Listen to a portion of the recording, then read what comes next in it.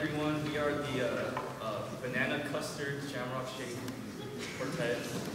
We are playing the third movement of the quartet for four violins written by Grażyna Bacewicz. I hope you enjoy.